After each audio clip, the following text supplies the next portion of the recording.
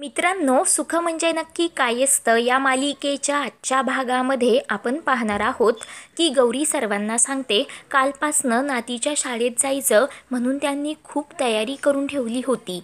परंतु त्यांना कुठे माहिती होतं की इथली शिकली सवरलेली माणसं त्यांना पुन्हा आरोपीच्या पिंजऱ्यात उभं करतील म्हणून? आणि माणूस जर बदलत असेल परंतु समाज त्याला स्वीकारायला तयार नसेल तर त्याचं दुःख काय असतं आज ते मला त्यांच्या डोळ्यातील पाण्यामध्ये दिसलं. मग नेमकं गुन्हेगार तरी कोण आहे? तो स्वतःत बदल घडवून आपल्यात मिसळण्याचं बघतो की आपण स्वतः.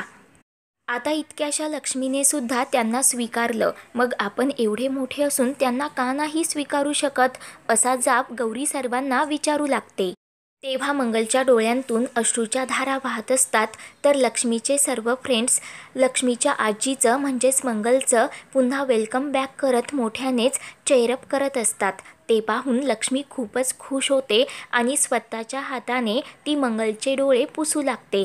तर मंगल खुश होत लक्ष्मीला प्रेमानेच मिठी मारते. त्यावर लक्ष्मीच्या टीचर म्हणतात आज इथे लक्ष्मीची आई लक्ष्मीची आजी आणि लक्ष्मी स्वतः म्हणजेच तीन पिढ्या एकत्र आहे म्हटल्यावर डान्स तर झालाच पाहिजे ना? तर सर्वजण मोठ्याने हो असं म्हणतात. त्यावर मंगल लक्ष्मीला म्हणते मला तर डान्सच करता येत नाही. उगीच माझे हातपाय मोडायचे. त्यावर लक्ष्मी म्हणते अगं आजी तू फक्त माझं कॉपी कर. त्यावर मंगल सांगते की तू आणि आई तुम्ही दोघीही डान्स करा. तर गौरी लक्ष्मीला म्हणते आपण ना कॅम्पमध्ये ज्या गाण्यावर डान्स केला होता त्याच गाण्यावर डान्स करूयात. तर इकडे शालिनीला मोठा धक्काच बसतो. ती म्हणते ही गौरी जोपर्यंत आहे ना तोपर्यंत माझा एकही प्लॅन सक्सेस होणार नाही. तर शालिनी देवकी रागानेच तेथून निघून जातात.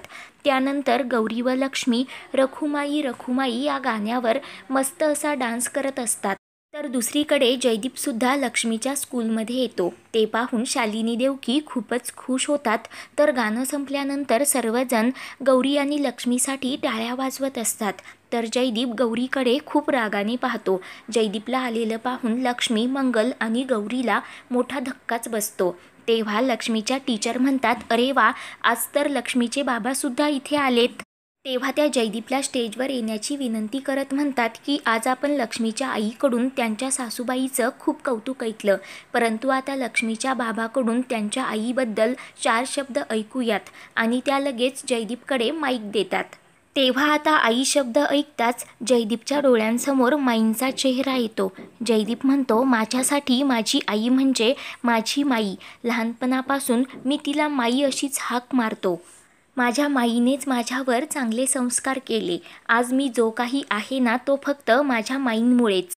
आणि माझी माई म्हणजेच माझं सर्वस्व आहे असं म्हणत जयदीप गप्प होतो. त्यावर लक्ष्मीच्या टीचर म्हणतात की आपण मुलाकडून आईचं कौतुक ऐकलं. आता आईने सुद्धा मुलाबद्दल दोन शब्द बोलायलाच पाहिजे ना? असं म्हणत त्या लगेच मंगलकडे माईक देतात. त्यावर मंगल जयदीपकडे पाहून म्हणते मी माझ्या मुलाबद्दल असं कधीही बोललेले नाही. पहिल्यांदाच बोलत आहे. जर काही चूक झाली तर मला मोठ्या मनाने माफ करा. ती म्हणते की आई शब्द ऐकण्यासाठी प्रत्येक आईचे कान अतुरलेले असतात कारण आई या शब्दामध्ये खूप ताकद असते. एका आईसाठी सगळी दुनिया एका बाजूला आणि तिचा मुलगा एका बाजूला. तर जयदीप गुपचूपच गौरीच्या कानात म्हणतो शत्रूसुद्धा खेळणार नाही अशी चाल खेळलीस तू. ते ऐकून गौरीलासुद्धा मोठा धक्का बसतो. आणि याच आईपासून कोणीही तिच्या लेकराला दूर करण्याचा प्रयत्न करू नये. आणि तसं करणाऱ्याच्या प्रसंगी ती आई त्याचा जीव घ्यायला मागे पुढे बघणार नाही. हे ऐकून जयदीपलाही मोठा धक्का बसतो. तर मंगल पुढे म्हणते कोणत्याही आईला आपलं लेकरू चोवीस तास आपल्या नजरेसमोर असावं असं वाटतं.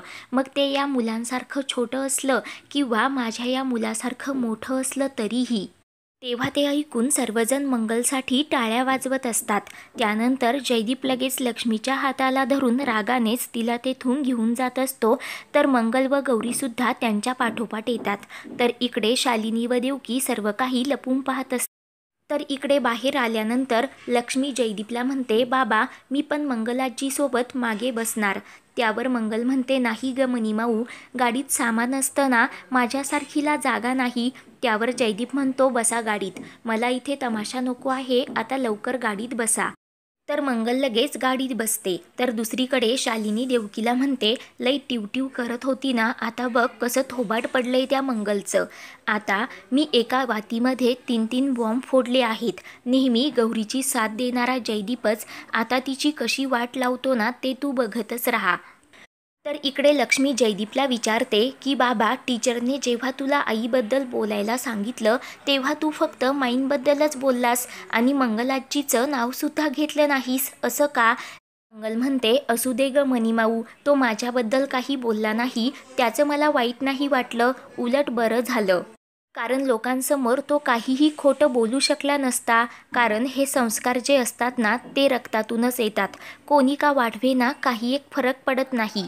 कोणी म्हणजे तुझ्या माईआजीनेच त्याला वाढवलं. परंतु खोटं बोलायचं नाही हा एक संस्कार तर त्याला माझ्या रक्तातूनच आला आहे. तेव्हा ते ऐकून जयदीप लगेच ड्रायव्हरला गाडी थांबवायला सांगतो आणि मंगलला म्हणतो की गाडीच्या खाली उतरा. तेव्हा मंगल व गौरी धक्क्यानेच जयदीपकडे पाहू लागतात. तर जयदीप म्हणतो आत्ताच्या आत्ता खाली उतरा. मी सांगितलेलं तुम्हाला ऐकू येत नाही की तुम्हाला काही कळत नाही. तर गौरी जयदीपला विचारते असं काय करत आहेस? लक्ष्मी सोबत आहे याचा तरी विचार कर. त्यावर जयदीप म्हणतो तिकडे सगळे होते म्हणून यांना गाडीत बसवलं परंतु यांना आत्ताच्या आत्ता माझ्या गाडीतून खाली उतरायला सांग. आता जयदीप गौरी खूप भांडू लागतात. मंगल म्हणते उगीच तिच्यावर ओढू नकोस. तुला मी या गाडीत नको आहे ना थांब मी उतरते असं म्हणत मंगल लगेच गाडीच्या खाली उतरते. गौरी विचारते जयदीप पण त्या घरी कशा येणार?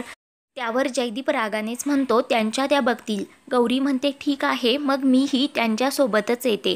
परंतु मंगल गौरीसमोर हात जोडत म्हणते की तू जयदीपसोबत जा मी येते माझ्या पद्धतीने तर गौरी लक्ष्मीला घेऊन जयदीप तेथून निघून जातो. तर मंगल उन्हा तान्हामध्ये घरी जाण्यासाठी निघते. तर आता घरी आल्यानंतर गौरी जयदीपला रिक्वेस्ट करत असते की त्यांच्या वयाचा तरी विचार कर. त्यांच्यासाठी माघारी गाडी पाठव कारण खूप ऊन आहे.